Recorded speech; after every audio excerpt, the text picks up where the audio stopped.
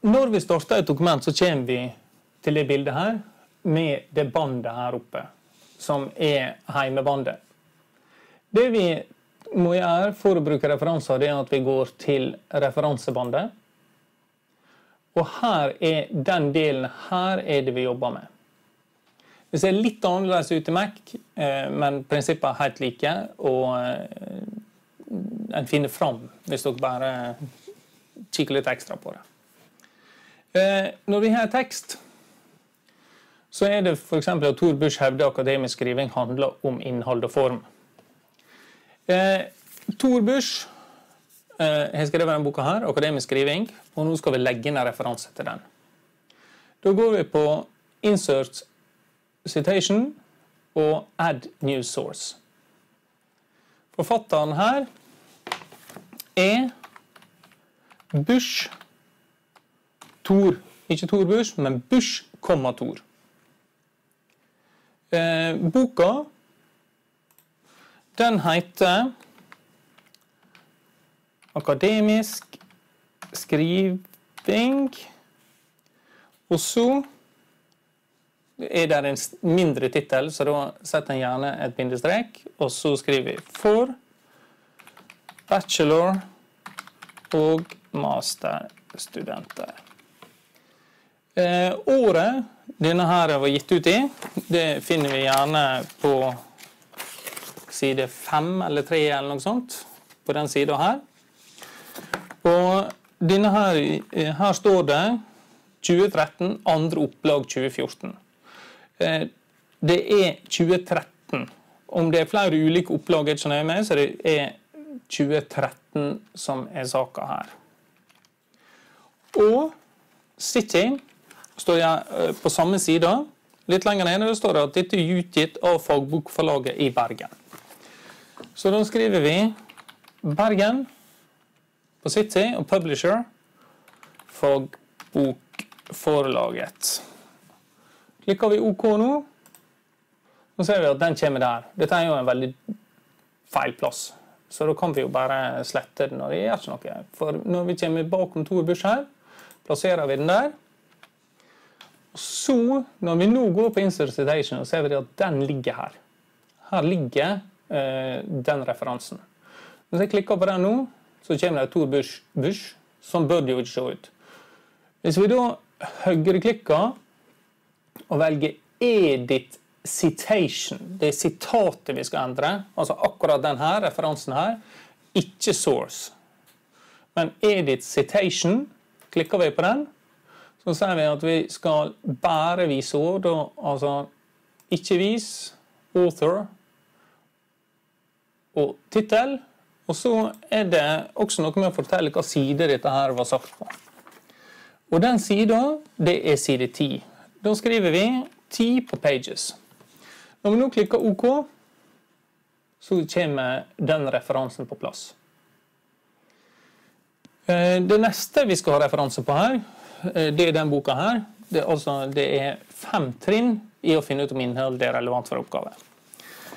Den boka her, eh, den, da kan vi jo like gjerne stå bakom her. Nå har vi plassert oss plass. Når du går på insert citation, så kan vi da add new source. Og når vi går inn på add new source her, så er den skrevet av Dyste Olga. Men den er også skrevet av flere. Og da skriver ikke vi det bakom her, men vi legger til her. Last. Hun heter Hertzberg. Og til fornavn heter hun Frøydis. Sånn. OK. Og så tar vi og legger til eh, den siste her, som heter Hol og Torlaug. Og er mellom Løkensgard. Sånn. Add. Sånn. Når vi nå klikker OK, så ligger disse tre forfatterne her oppe. Tittelen er 'Skrive for å lære med undertittel eh, Skriving i høyere utdanning. Eh, denne boka er gitt ut i 2010. Og den er gitt ut av Abstrakt Forlag i Oslo.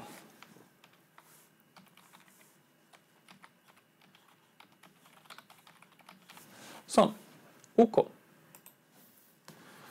Og eh, der skal vi ha med at dette her det er på to sider. Det er side 27 til 20, side 28. Da høyreklikker vi på den. Velger Edit Citation og skriver inn pages 27 til 28. OK. Nå er disse på plass. Ehm, så langt så hadde det vært mye enklere å skrive det inn. Men når vi nå skal sette inn eh, referanser, så går vi inn og setter bibliografien, og da velger vi referanse f.eks. her, og da er disse på plass eh, så fort i APA-stil. Eh, dette kunne jo være like greit å gjøre bare med å skrive, men hvis vi går på Manage Sources nå, så ser vi, ser vi at det her er to sider her. Den ene sida her er current list. Det er den som gjelder det dokumentet du er i. Den som gjelder her, masterlist, det er de hovedliste. Slik at hvis vi nå tar dette dokumentet her, og så bare lukker vi det Hvis vi nå starter Word igjen og tar et blankt dokument og går på references, så er her fortsatt ingenting. Men går vi på manage sources, så ser vi at vi kan kopiere inn de referansene vi vil ha. Close. Så nå eksisterer disse. Slik at når jeg nå skal skrive det at uh, dyste med Flere mener at skriving er viktig. Uh, og jeg skal ha inn referansen her. Så går jeg bare på Inside Citation og tar den. Ta-da. Uh, når jeg da er ferdig med å skrive denne oppgaven, så går jeg inn her. Bibliography og sette inn references. Så er de på plass. Men nå ser du, nå kom Bush sin referanse også.